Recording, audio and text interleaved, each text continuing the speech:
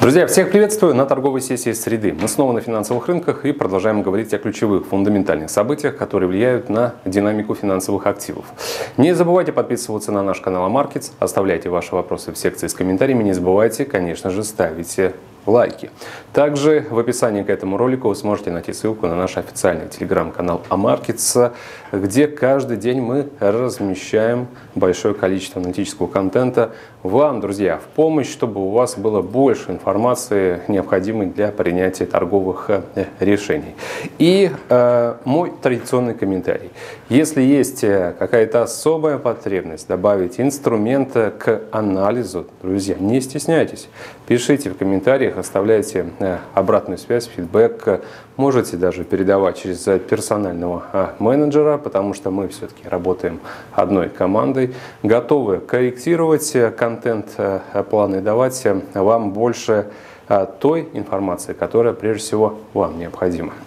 Ну что ж, очередная торговая сессия. Мы продолжаем, как и все, следить за событиями в Восточной Европе. Понимаем, что а этот новостной фон остается основным катализатором.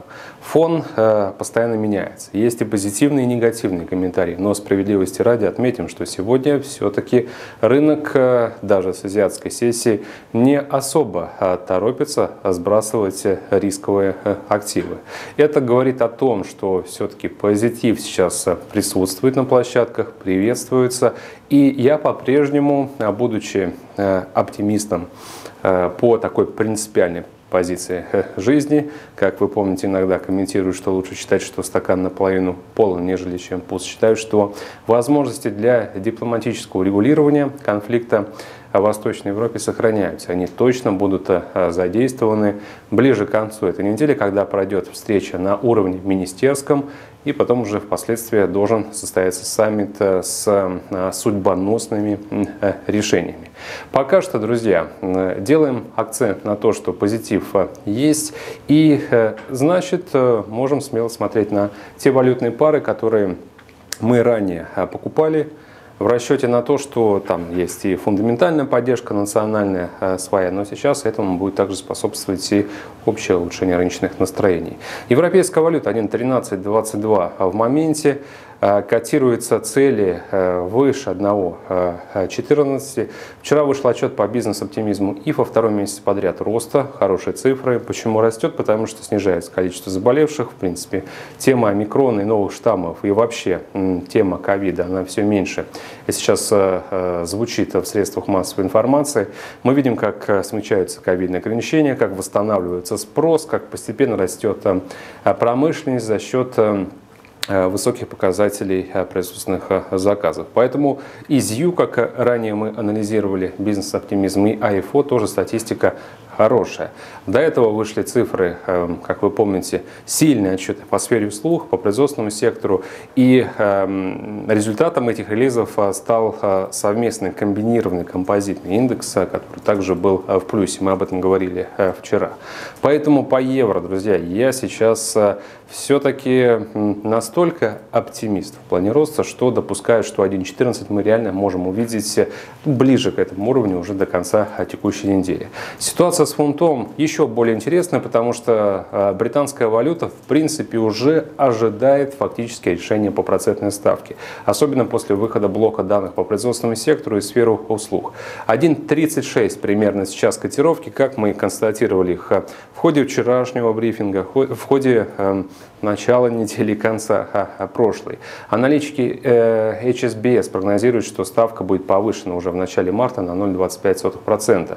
Причем это не последний раунд такого ужесточения монетарной политики. Дальше будет рост ставки в августе по их версии. И еще один раз эм, под закрытие 2022 года. То есть ставка будет а, поднята до 1,25 до 1,50%. На этой неделе очень много комментариев представителей британского регулятора, и я рекомендую за ними последить, ну, либо самостоятельно поискать информацию, либо тогда уже не пропускайте брифинги, мы будем говорить на последующих выпусках, в том числе и об этом тоже. Попробуем найти в их комментариях заявление о возможности единоразового даже повышения процентов процентной ставки на 0,5%. Если такой комментарий проскочит, тогда у фунта будут еще более интересные возможности чтобы уйти выше отметки 1.36. Новозеландский доллар. Вчера мы верно коснулись э, этого инструмента поскольку ожидали повышения процентной ставки из-за того, что инфляция в Новой Зеландии на пиковых а, максимальных уровнях 5,9%, рынок труда, кстати, очень хорошо себя показывает, 3,2% а, уровень безработицы, то есть э, такой фундамент э, позволяет рассчитывать э, на решительные действия Резервного банка Новой Зеландии. И мы прогнозировали повышение ставки на 0,25% несколько часов назад, даже меньше. Она была поднята, друзья, до 1%. И это еще не конец. Потому что, исходя из сопроводительных комментариев Резервного банка Новой Зеландии, следует то, что э, регулятор Новой Зеландии будет повышать ставку на каждом последующем заседании с возможностью, друзья, это будет не оговорка, довести ключевую ставку до 2,5% к концу этого года. Поэтому после сегодняшнего решения, после тех заявлений, которые мы слышали, я рекомендую новозеландский доллар теперь рассматривать не как возможность для а, краткосрочного заработка, а как долгосрочную сделку а, с целями в районе 0,75 покупаем смело в расчете на действия Резервного банка Новой Зеландии. А, фондовый рынок США 4320 пунктов в моменте, low был 4249 пунктов. А, в целом нисходящая динамика остается пока что в приоритете, и я а, не откажусь от нее, пока сохраняется нестабильная обстановка в Восточной Европе, и пока мы настраиваемся на действия американского регулятора по росту процентной ставки. Биткоин 37 886 долларов, ждем 30 тысяч, э, как и раньше. Золото в районе 1900 долларов за тройскую унцию.